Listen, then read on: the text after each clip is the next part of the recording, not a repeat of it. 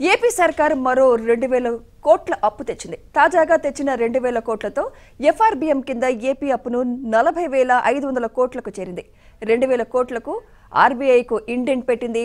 అడిగినప్పుడల్లా మరో పదివేల కోట్లు ఇచ్చి కేంద్రం ఉదారత చాటుకుంది. కార్పొరేషన్ల ద్వారా మరో ఇరవై వేల కోట్ల అప్పు తెచ్చుకుంది రాష్ట్ర ప్రభుత్వం. దీంతో మొత్తం అప్పు అరవై వేల ఐదు వందల కోట్లకు చేరింది.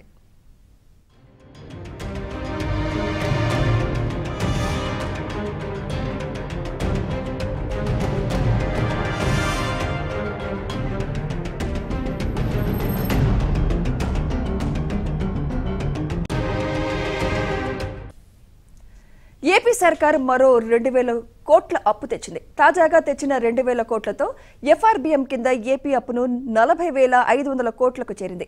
రెండు వేల కోట్లకు ఆర్బీఐకు ఇండెంట్ పెట్టింది. అడిగినప్పుడల్లా మరో పదివేల కోట్లు ఇచ్చి కేంద్రం ఉదారత చాటుకుంది.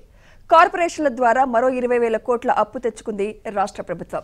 దీంతో మొత్తం అప్పు అరవై వేల ఐదు వందల కోట్లకు చేరింది.